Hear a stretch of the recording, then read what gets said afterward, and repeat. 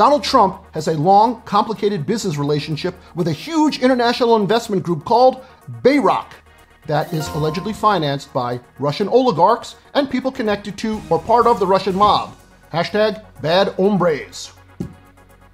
Over the years, Trump and Bayrock did several deals in which Trump would license his name and Bayrock would finance hotels that Trump's company would then manage. Trump's dealings with Bayrock are a huge fucking disaster. There's been a whole bunch of lawsuits. The Bayrock partners had to return millions of dollars to prospective buyers. Buildings were foreclosed upon, and Trump had to give at least one deposition. How many leases like this have you reviewed in your career?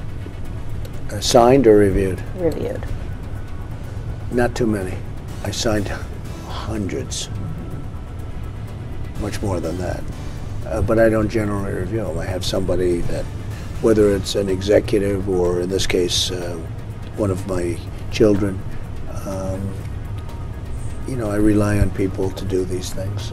A different 2016 lawsuit alleges that Bayrock laundered $250 million for corrupt Russian officials, and that President Trump is alleged to have participated in that scheme. Oh, and uh, one of Trump's partners in Bayrock, a former Russian named Felix Sater, spent nine months in a U.S. jail for stabbing a guy in the face with the stem of a broken margarita glass.